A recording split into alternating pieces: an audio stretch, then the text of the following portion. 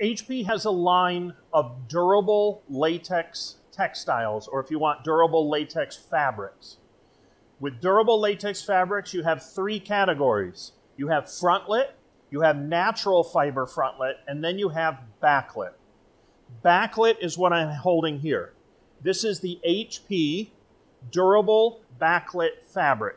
This has a four or better on a dry crock test. We have created a coating that is perfectly complementary to latex inks to give us more scratch and scuff resistance, both in printing and then in post printing during fabrication. In most cases, this is going to be sewn with a gasket so that you can use a silicone edge graphic system. That's how most backlits are installed. Now, holding this print here doesn't quite do this justice because in reality, the print needs to be seen in a light box. When you see this HP backlit fabric in a light box, it's absolutely spectacular. It is without question, in my mind, the best looking backlit fabric that I've seen. I think we compete very well against sublimation. If I were to put this in a light box and sublimation in a light box, I think the HP has better clarity, better saturation, and better detail.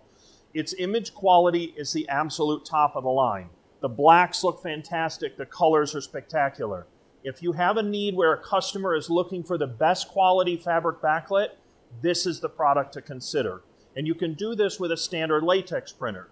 It is all available on the Media Locator. All you have to do is download it into the printer, take the roll, put it in, and print to it.